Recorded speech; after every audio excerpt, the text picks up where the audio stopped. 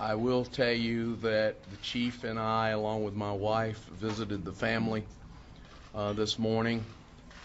A wonderful, down-to-earth family, a wonderful group of people, and we let them know how we felt about their loss and how bad it was. And um, we do not condone wrong, doesn't matter who it is. And we're there to support them uh, as we can uh, for the future. I also will tell you that thanks to Senator Marlon Kimpson and also uh, one of the members of the state legislature, we received a grant to purchase 101 body cameras.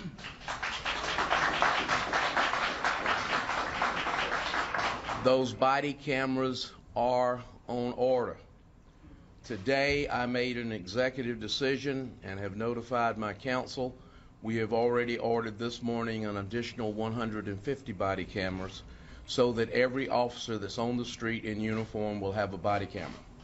This has been a horrible tragedy uh, within our community. There have been two families that have uh, been harmed great by what occurred, both the victims and the officer's family. And our hearts go out to both of them.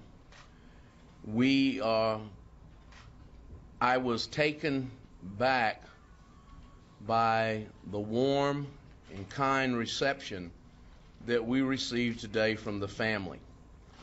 They are an outstanding family within our community. Was CPR ever performed on this man, as far as you know? Um, I'm gonna be, I'm gonna be totally honest with you.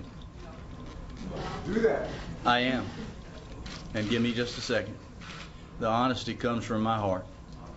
Um, I, I have watched the video, um, and, and I was sickened by what I saw. Um, and, and I have not um, watched it since, but in that end, as I was, because I've been receiving a lot of phone calls and a lot of emails, in the end of it, um, what I saw was a, a, I believe to be a police officer removing the, the shirt of the individual um, and performing some type of life-saving. Um, but I'm not, I'm not sure what took place there.